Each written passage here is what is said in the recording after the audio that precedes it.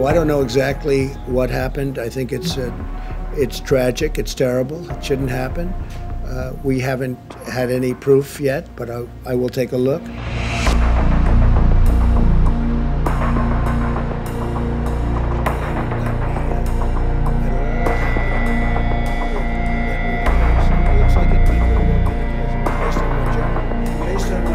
I, I hear Germany uh, has made a, was it definitive or almost definitive, but we have not seen it ourselves, no.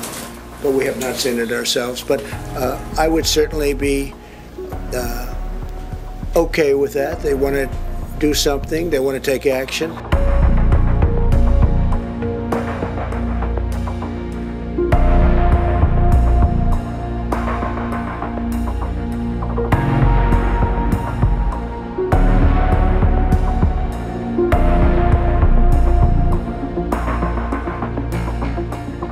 It is interesting that everybody's always mentioning Russia, and uh, I don't mind you mentioning Russia, but I think probably China at this point is uh, is uh, a nation that you should be talking about much more so than Russia because the things that China is doing are far worse. If you take a look at what's happening with uh, the world, look at what happened with the China virus. Look at what they did.